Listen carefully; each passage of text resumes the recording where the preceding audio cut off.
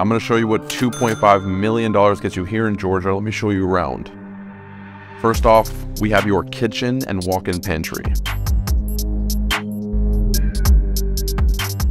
Coming down a little further, your dining room with a view of the nature.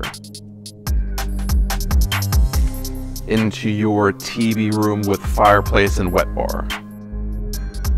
Making our way down to the main suite, you have a king size bed and view of your courtyard.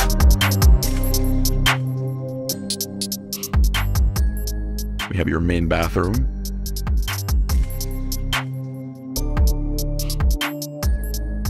And finally, I want to leave you with a view from the balcony.